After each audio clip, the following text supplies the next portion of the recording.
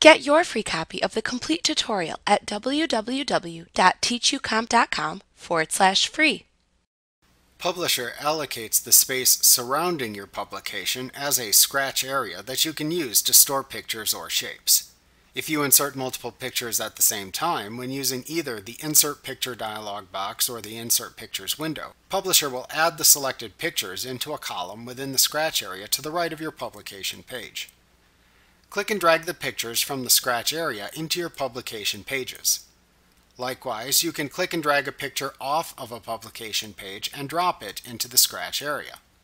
To swap pictures that appear in the scratch area with pictures in the publication pages, select the picture and then click the icon of the mountain shown within the middle of the picture in the scratch area and drag it onto a picture within the publication page. When the border of the picture in the page turns pink, release the mouse button to swap the image from the scratch area with the existing picture. You can set a picture as the background of a publication page.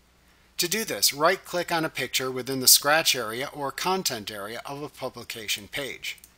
Roll over the Apply to Background command in the pop-up menu that appears, and from the side menu that then appears, Click either the Fill command to fill the entire background of the page with the selected image, or click the Tile command to tile the selected image over the page. Like what you see? Pick up your free copy of the complete tutorial at www.teachucomp.com forward slash free.